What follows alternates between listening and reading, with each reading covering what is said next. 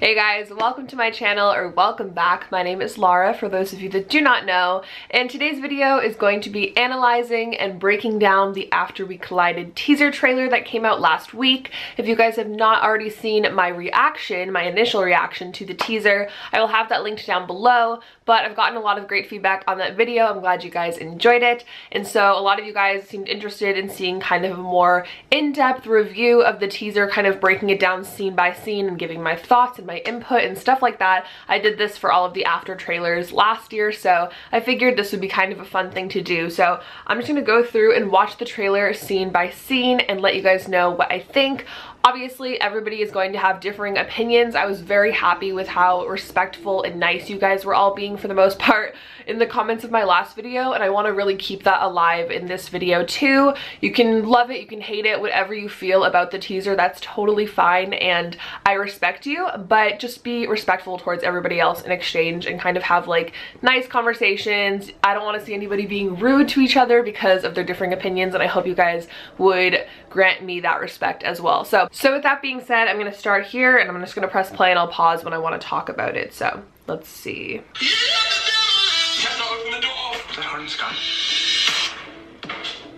Okay, so even just from my initial watch of the trailer, I noticed that a lot of the scenes are like word for word accurate from the book. And so this scene looks like when they're in Seattle and Tessa has Trevor in her room and Hardin knocks on the door and Tessa asks Trevor to hide in the bathroom because she doesn't want Hardin to know he's there and that looks exactly like what's going on. So it feels pretty accurate to the story.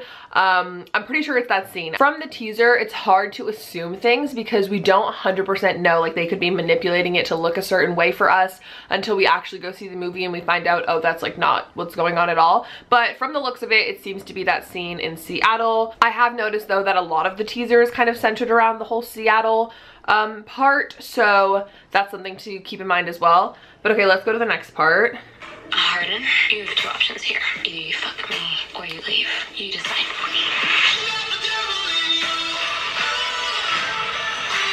Okay, so just pausing before the shower scene.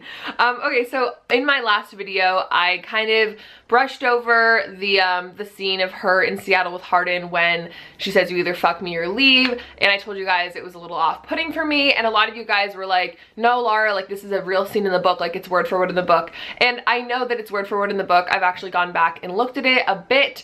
Um, and I just kind of want to briefly share like why I feel like I wish they changed up the scene a little bit. Obviously, I respect everybody that loves the scene and thinks it's fine.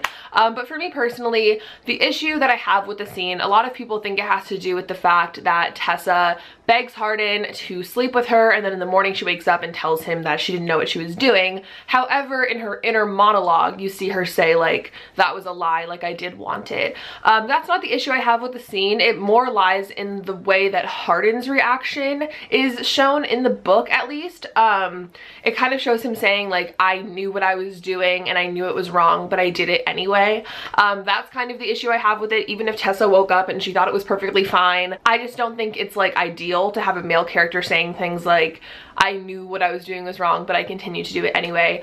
Um, and I just have a problem with the fact that they're not dating in this part of the book. He's completely sober and she's clearly belligerently drunk. Um, and I just feel like they could have portrayed the scene in a way that was a little more like with the times. I don't know, I feel like a lot of people have taken issue with the scene. Some people don't see an issue at all and that's completely fine too. I just feel like they could have made it a little bit more like of the times and maybe a little bit more consensual. Not that it's not like 100% consensual, but it just gets messy. Like the lines get really messy in this scene and I feel like they could have shown it in a way that was a little different from the book. I know you guys are probably like, well, if you think that the scene is so bad, why do you like the book? Like, I don't think you have to agree with 100% every aspect of anything to like it. And so this is just one of the scenes that I've always had a little bit of issues with. So that's just my personal opinion. Obviously, I know some people are going to agree with me, some people aren't, but you guys know I keep it real and I'm honest 100% of the time, even when I don't like things. I'm gonna tell you, I'm not just gonna sit here and act like everything is perfect in my opinion. So that's what you're gonna get from me, but that's how I feel about that scene. Enough of that, let's move on.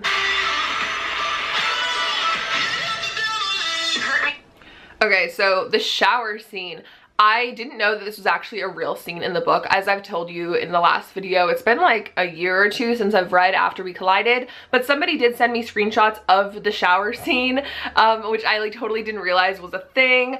Um, so yeah, it looks like that scene is pretty accurate to the book as well, which is like kind of cool. I like that they're making it more realistic to Hessa and like including real scenes. I feel like last movie we got like a little tease of like what real scenes could be like. Like we had a bonfire scene, we had like the Pride and Prejudice scene, but they weren't like accurate. So I'm excited to see more accuracy in regards to some of the other scenes in the book. You hurt me and I can't forgive you. So last night meant nothing. I didn't know what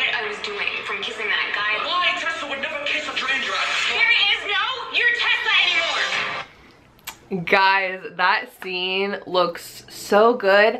I can really tell that the acting has improved since the first movie. Um, Hero looks like really accurate to Hardin. His yelling, the anger, like it's very Hardin in my opinion.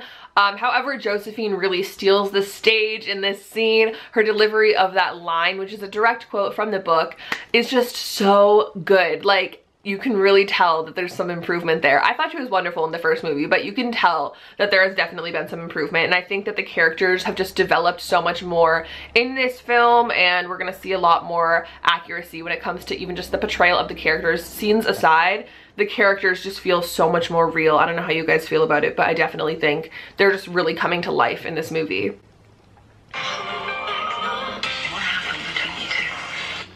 Okay, that little part where somebody says what happened between you two, I think is Trish, Hardin's mom. Um, if we have the part where Tessa goes back to the apartment for Christmas, even though they're broken up because of the bet, um, and Trish asks what's going on and she tells her that he lied to her and she was like, was it a big lie? Like you can forgive him, whatever. That's the scene I'm gonna assume. Also the bathtub right here, I don't know specifically what scene this is, but that's obviously the bathtub from the first movie. So we can assume that this is just like her wallowing away in the bathtub after the bet or something like that. Oh yeah, so she said he lied to me, a massive lie. That's what she replied to Trish. Um, I don't think I heard that before, but that's good to know. Okay, that was a lot right there. So it's her telling Hardin, I'm never gonna leave you. But then we see some other little scenes in there, like her kissing Hardin again, them laying in the bed together. The one that was like crazy to me is that we see her kind of leaning in to kiss Trevor. I asked you guys in the last video if anybody remembered if she kissed Trevor or not in the second book, and a lot of you guys told me she didn't. I think what's going on there is since they decided to lessen Zed's role very significantly, considering he's like a very big character in the series, um, they've lessened his role and they've decided to have Trevor as kind of the front runner in a love triangle type of situation is what I'm assuming and I think has been kind of confirmed.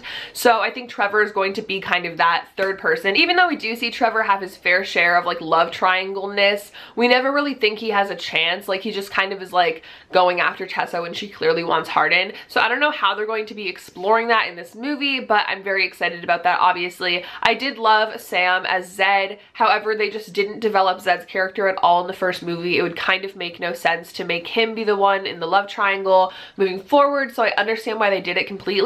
And also I'm very partial to Dylan Sprouse and I'm so excited to see him as Trevor. So if he has screen time, I'll be very happy about that. So that is my kind of more in-depth review and analysis of the trailer. If there was anything else that I didn't catch, let me know in a comment down below and just how you feel about the teaser. Are you excited? Does it make you feel nervous? I'm nervous, but like definitely excited. I feel like this movie is actually going to like really come out as something we don't expect. I feel like this teaser has so much potential and I'm very excited to see like a full length trailer when that comes out because this kind of just focused on like one scene. I would love to kind of see a more timeline approach to a trailer where it kind of shows a little bit of everything. That would be really satisfying to me. So I hope we get one of those soon and hopefully a release date as well. Since we are approaching the release date, even though we don't know what it is, hopefully more stuff will be coming out and I'll be able to do more videos like this talking about the movie. If you guys enjoy them, make sure to give this video a thumbs up and subscribe to my channel if you want to see more content from me.